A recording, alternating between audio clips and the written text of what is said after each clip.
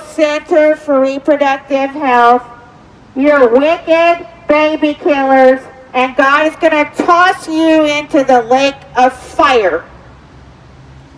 God hates you, baby killers. Shame on you.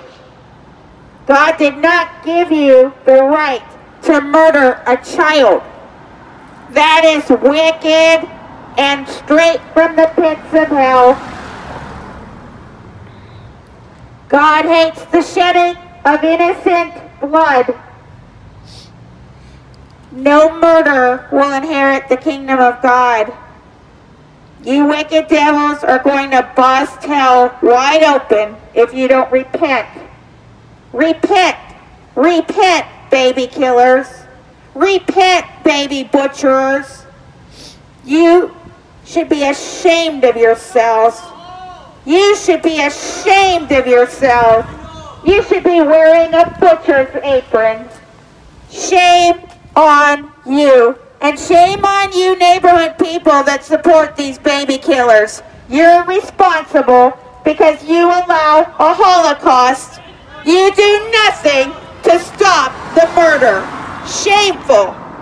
Jesus is coming back with a flaming, fiery sword to take vengeance on those who know not God and obey not the gospel.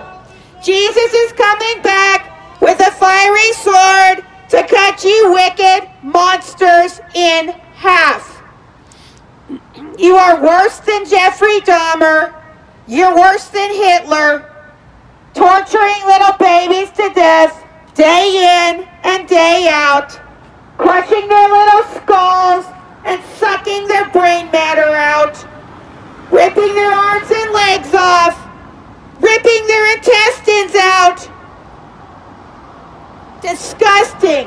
God is angry with you. God is angry with you. You should be ashamed of yourselves. It would be better for you to live under a bridge than to do this. Better for you to live under a bridge children day in and day out. Vengeance is God's. He will repay.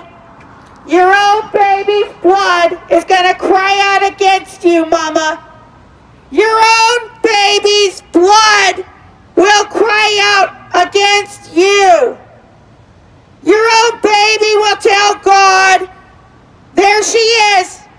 There's my mama who murdered me.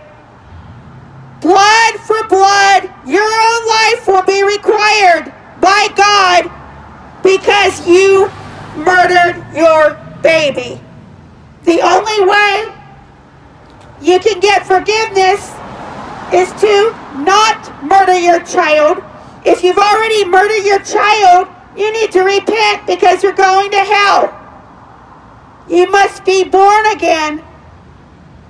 You must be born again. You must repent of all of your sins. You don't even know that you have another day on this planet. You could die in a car accident today, and boom, you're going to be facing a holy God. What are you going to say to him? You could die on that abortion table. Mama, it's not that safe. Women die from abortions all the time.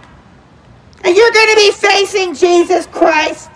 And he's going to ask you, what were you doing?